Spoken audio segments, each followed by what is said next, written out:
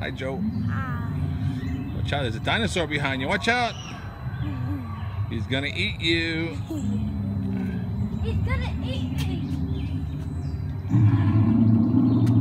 Ah! He's gonna eat me. Oh, he's so scary. You want a piece of me?